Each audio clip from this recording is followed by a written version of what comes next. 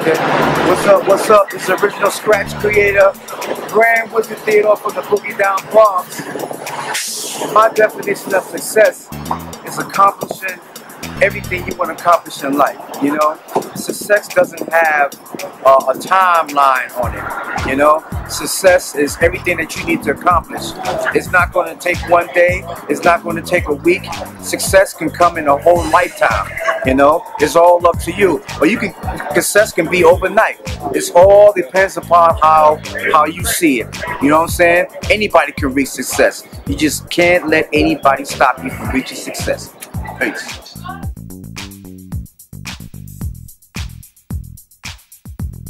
Go get it.